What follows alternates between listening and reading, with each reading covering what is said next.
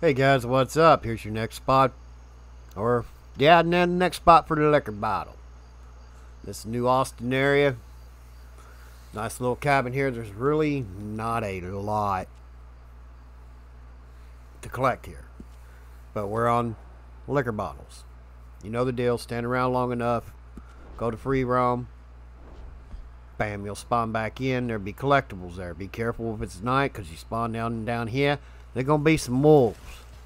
Which, hell, kill them, throw them in your hunting wagon if you got it. And if you got the Jane Ropke map, depending on what cycle it is, over on behind that barn, there'll be a diggable. Inside this shit house, there's going to be a tarot card. Sorry, it's dark.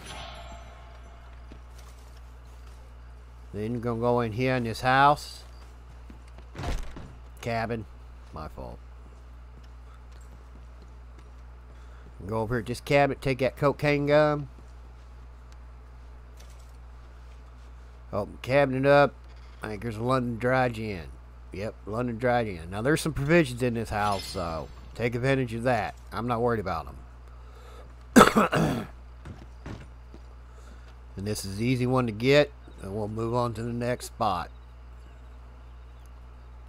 I'll show you here on... What the fuck is that? Really? No, I'm not tired. Right here, Vent, Venter's place. Ventors, Venters, whatever. But that's it. Hit that like button. Hit this like button. Hit that notification bell and subscribe.